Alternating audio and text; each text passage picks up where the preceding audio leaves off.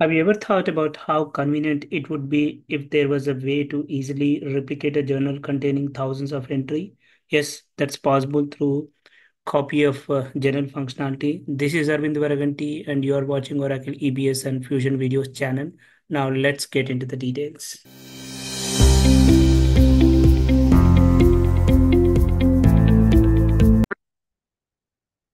So this is the topic uh, which we'll be discussing uh, today, how to copy journals. And this is the navigation general accounting journals.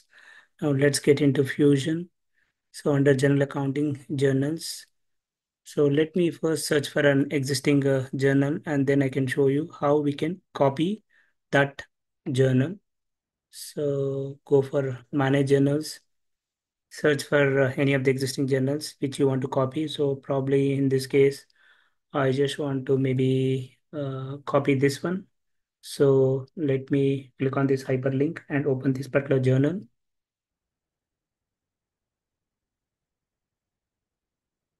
Okay. So this is a journal which has roughly around five or six lines, but in a real world environment, you might have a journal for say hundreds of lines, right? So in order to copy this, so click on batch actions and click on copy so it's simple. Like when you do a copy, it's ask it asks you to enter the new journal batch name. So probably I'll just say it has uh, populated with the auto-generated uh, batch name. So I just want to get rid of that and I want to enter my own journal batch name. So test batch for uh, auto copy and uh, in which period I want to enter this particular journal. So the dropdown shows all your uh, open uh, and future enterable periods. So I just want to enter the batch again in the same period for whatever may be the reason. And uh, accounting date, you can use the default sys date or you can use a, a, different date. So I just want to use the default date and cl click on OK. Once you click on OK, Okay, so click on OK. So once you click on OK, you can see the batch is already created and you can see the batch has the source of auto copy. So generally, whenever you enter uh, manual journals, the manual journals will have the source of manual. If you enter the journals via spreadsheet upload, then that will have a source of spreadsheet. Similarly, the journals which are copied will have the source of auto copy.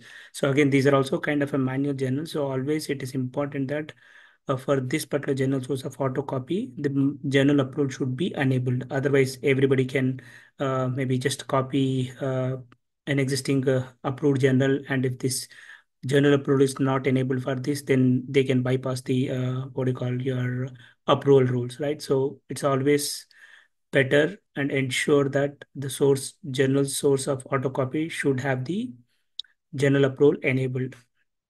Okay, so this is the journal which system has created. If you want, you can just edit this particular journal by including the journal lines, or you can just directly uh, post this particular. Again, as this being a testing environment, in this environment, I have disabled the journal upload functionality. So that's why I can directly post this particular journal. So once you click on post, you can see a process got triggered and then maybe I can, here you can see the batch status is selected for posting you can continue refreshing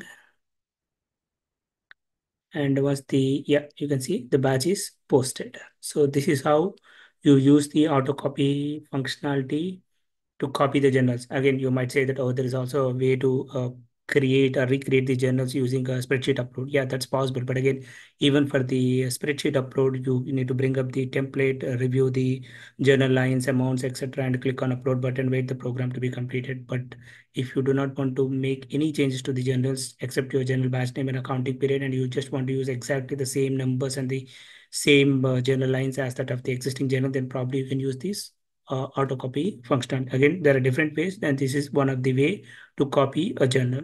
Thank you. Thanks for watching my video for interesting videos on Oracle Financials. Please do subscribe to my channel. Thank you.